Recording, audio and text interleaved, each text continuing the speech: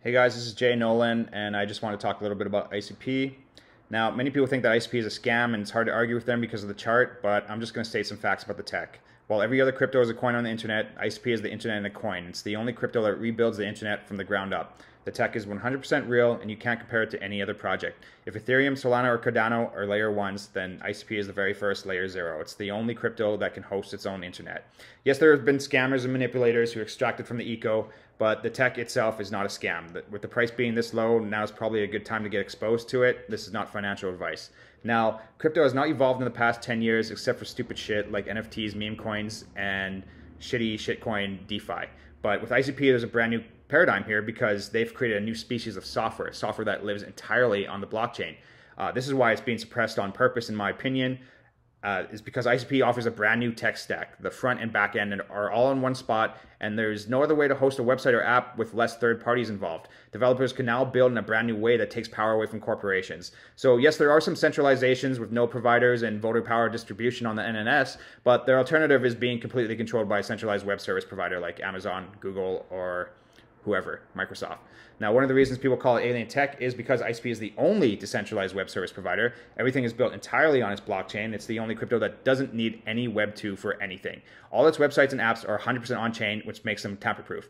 Now, most other projects can't even put a JPEG up, but ICP is already doing entire AI models. That alone is huge because AI needs guardrails for itself and from hackers. And Bitcoin has never been hacked in the past 16 years because of blockchain. Now that software is on the blockchain, it has the same hack proof security. Now, this technology competes with almost everyone. It can eliminate the need for cybersecurity, which is some people say is like a $10 trillion a year uh, cost to businesses. And when comparing to other cryptos, every other project is just a primitive payment ledger. It's like comparing a calculator to a gaming PC. Now, some projects like Ethereum and other layer ones, they do have logic on chain for their smart contracts, but the smart contracts are just for payment ledgers too. So whatever. You might say, what do you mean? There are some cryptos who are building things like video games. Well, here's the thing. Uh, these video games are just on Web 2 and they have a cheap little payment ledger attached to it because they hope that they, they, can make money by saying it's a crypto. Like even the NFTs are just URLs to JPEGs hosted on websites that are just Web 2, and that's why they get hacked all the time. No other project can fit an entire video game on its blockchain other than ICP. DFINITY, they have over 200 top level professionals, people with PhDs, masters, and postdoctorates in computer science, mathematics, economics, physics, electrical engineering, algorithm design, cybernetics. Now, these are people who worked at Google, Amazon, YouTube, Microsoft, IBM, Nvidia, Twitter, Blizzard. These are people who've worked for the government, NATO, Ivy schools on almost every continent, banks, stock exchanges, crypto exchanges, and some are self-made web entrepreneurs like Dominic Williams, the founder, who created Fight My Monster in 2013, where it had over two and a half million users. Uh, now, what does DFINITY have to show for it? they they've built the fastest blockchain in the industry with 1,300 transactions per second, and that's real time. And they have a proven max speed of 25,000 per second. This is faster than Solana, and ICP has never had any downtime. Solana has had over 10 outages, I think. And DFINITY is the team, they, they invented passkeys. They created the very first crypto reverse gas fees and they figured out how to put data on chain and decentralized compute. And one of the other things I'm most excited for is Vetkeys, which offers a whole new level of privacy that developers can integrate into their software. And it seems like DFINITY just never stopped releasing some gangster shit. There's breakthroughs almost every single month. You just follow them on your feed and you'll see. If you look at their roadmap, it's 20 years long and we're not even a quarter of the way through it. So don't listen to these morons who only look at the charts, look at the actual tech that's being deployed ICP is way more ahead of anybody else and actually use their stuff. It's very streamlined, it's very advanced. There's nothing more advanced than it. The smart contracts on ICP can they can sign transactions on other cryptos. This means ICP has layer 2 services and can onboard as many cryptos as they want. And it's all done 100% on blockchain with no bridges. And this is a big deal because bridges are always getting hacked. Because bridges depend on custodians who are just basically centralized third parties who use off-chain tools to try to scale slow projects. ICP will never need bridges. It's already the fastest, and they have near instant finality, which extends to every single one of their layer twos, including Bitcoin and Ethereum. And it's infinitely scalable. If traffic gets too large, they can create as many subnets as they want, and they can add as many node machines as they want. And Another great feature is this decentralized architecture. The node machines are hosted in large data centers with intense security, but even if someone were to get access to them, they can't physically access the data because it's protected with cryptography. This means there's no centralized hardware hardware vulnerabilities. If a node machine goes offline, the data leaps over to the next machine and it's fully retained. Even if an entire data center gets destroyed, the network stays up and running. So essentially, ICP is bunker proof, and they have node machines on every single continent nearly.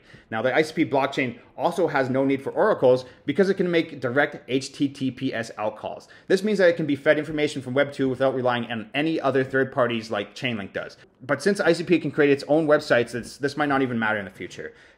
One of my favorite texts is the internet identity. This allows you to access apps anonymously while proving that it's you. So an analogy would be imagine you were trying to buy alcohol at the store, but you didn't want to show your ID because it has your name and address on it. With internet identity technology, you can prove uh, that it's you and that you're the legal age without giving away your privacy. And you can keep it secure by using your fingerprints as a login or any other biometrics. They even have an AI that verifies you through the webcam. Now, this is the future solution for getting rid of bots is verifying that people are actually people and it's only on ICP. And as long as it's open source, the public can audit the code, the code for any backdoors. And as long as the code is 100% on chain, you know for a fact that that's the code that's that's running. It's like going to a restaurant and being able to see inside the kitchen, so you know what they put in your food. One of the beauties of blockchain is transparency, and ICP is bringing that to software on a whole new verifiable level. The Internet Identity Wallet is also how you participate in the DAO. When you lock up your ICP, you can vote on proposals and get paid free ICP as rewards. It's the least work you'll ever have to do for money. I've traveled Asia, Asia for seven months while collecting dividends,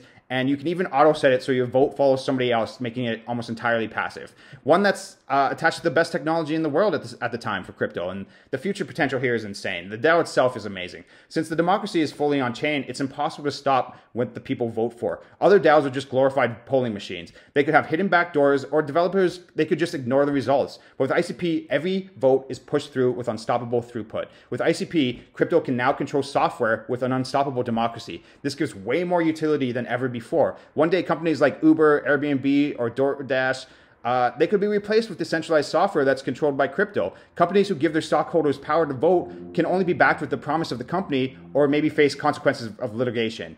But when you own something through tamper proof code, there's nobody who can stop it and there's nobody who can get in the way. And maybe the most important factor on ICP is that the data is secure. There are no there are many corporations and governments who invade your privacy. They steal your information and they sell it to advertisers or they punish you and blacklist you for having opposing uh, opinions. ICP is all about digital sovereignty. There can be no censors unless the community votes something out through the NNS or the legal system of a country acts through a boundary node. But even then, they, they're only contained to the region that they control. So imagine building a livelihood online, one that feeds your family, and a corporation arbitrarily decides to unplug you. If you're anywhere but ICP, that can happen. You don't own what you've created because it's built on a centralized cloud provider like Amazon. They can shut you off whenever they want. Web service providers are the biggest monopoly that nobody talks about, and that's because your average person has no idea how the internet works. In my opinion, this is probably why ICP is being sabotaged. Crypto media does not report on it. I think YouTubers are being paid to fund it, and there's speculation that insiders are using leverage trading to keep the price down. Now, if you research the FTX attack at launch, the influencer Six Figs has a great video on it. I suggest you check it out. You can make up your own mind, but I suggest you do your own research on it and connect the dots. Now, ICP is also a new kind of currency, one that's backed by WebFuel. To host a website or app, you have to burn ICP, and this is the deflationary mechanism of the network. And one day it'll, it'll make ICP very scarce. Now, Bitcoin was the very first currency backed by computation, but uh, with all the energy it uses, it only provides a payment ledger. And don't get me wrong, I love Bitcoin, but in my opinion, Bitcoin isn't going to save the world unless it can scale safely. And ICP is the best layer one for that. It's the fastest, safest, and most decentralized layer two. And uh, the Bitcoin DeFi on ICP is actually blowing up right now, so that's another thing that you should check out.